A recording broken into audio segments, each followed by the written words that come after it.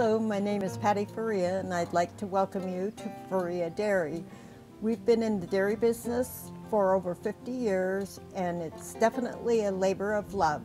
In talking about dairy cows, there's two different kinds of cattle. There's dairy cattle that produce milk and then there's beef cattle. They're built completely different and generally the number one question I get asked is why are your cows so skinny? Well, it's not that they're skinny, it's that they're designed to produce milk. California's number one agricultural product is dairy, is milk production and its byproducts. Of that milk, 46% of it goes to making cheese in California. So it's a very vital part of our agricultural community, especially in the San Joaquin Valley.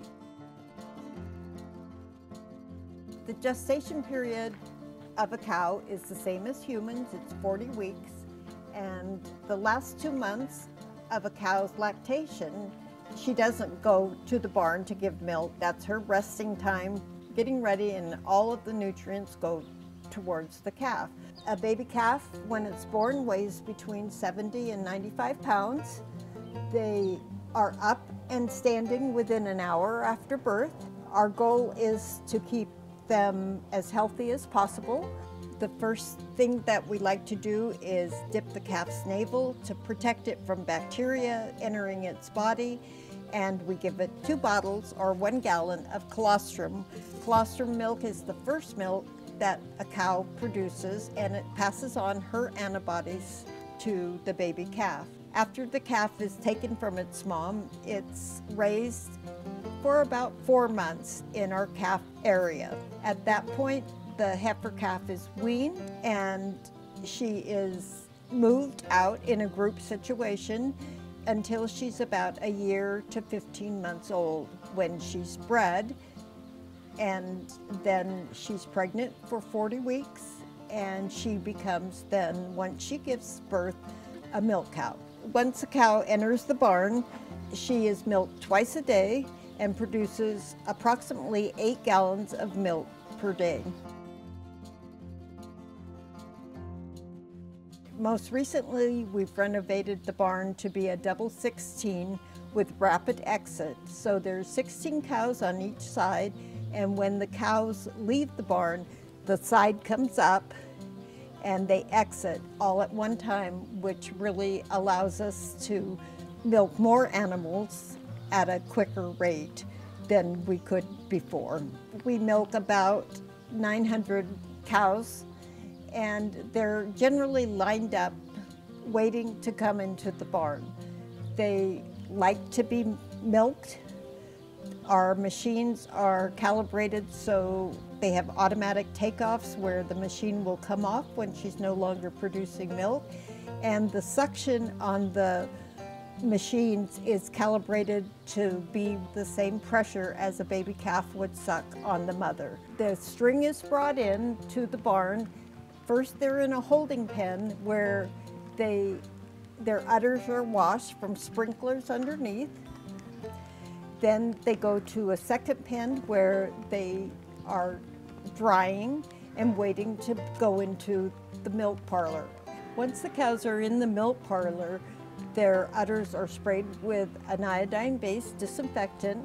They're wiped dry, and then the cows are primed, which means that we check the milk in all four quarters to make sure that it looks healthy. At that point, the machines are put on. The milk comes out of the cow at 102 degrees. That's her normal body temperature.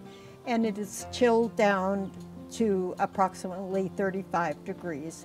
The milk goes into a holding tank and is picked up here twice a day.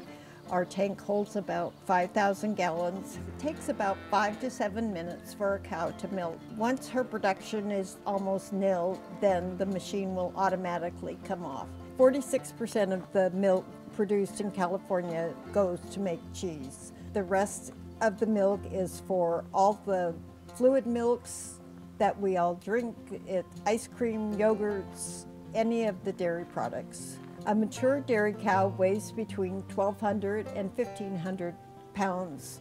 In order for her to produce the milk that she does, she obviously eats and drinks a lot.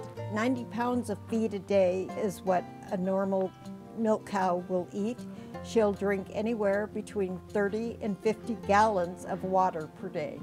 I call our commodity barn the cow kitchen. In the olden days, dairymen basically fed their cows only hay. Alfalfa hay to this day is the number one favorite food of dairy cows, but to improve production, we've added many byproducts from other commodities that are grown in our area. And the dairy cow, because she's a ruminant, can eat these where other mammals couldn't. This not only keeps her healthy, it also improves milk production. Things like cottonseed. Cottonseed used to just be piled up and filling up our landfills. This is what a cotton, the cotton balls look like on the plant. Inside each of these cotton balls are seeds that there was no use for. Cottonseed is now the number one most sought after commodity that we put in our ration. The other things that we use are almond shells and hulls. We feed the hulls and use the shells for bedding. Once the ration is mixed, all of the commodities are put together, the hay, the silage, and all of the byproducts. We call this total mix ration. DDG, which is dried distiller's grain, DDG is a byproduct of ethanol. It starts out as corn, then it becomes a biofuel, and what's left over looks something like this. It also comes in a wet form. Other things that we add to our ration are silage, which the big hills that you see on dairies covered in tires, underneath that is corn silage or oat silage. Those are our two major crops that we grow for feed every year. Um, silage is kind of like the warm oatmeal in the ration. So all of these things get put together, the different hays, bits and pieces of the commodities, and our feeder in a big feed truck mixes it all for each string of cows that have different production levels. It ends up looking like this, and there's a little bit of everything in there, including minerals and vitamins. Each recipe is for a specific stage of lactation. So our highest producers get one ration, our lower producers get a different ration. Our dry cows, which is the last two months when the cows are not being milked and their last two months of their pregnancy, they get a much different ration as well. When all of these commodities are delivered by big trucks, parts and nails and screws have a tendency to fall off of equipment. And so to keep the cows safe, we feed them a magnet. The magnets look like this. They're smooth, they're round on the edges, and they're fed to the cow one magnet, and she keeps it for the rest of her life. It stays in the big first stomach, which is called the rumen, and it is heavy enough that it doesn't go on to like feed would.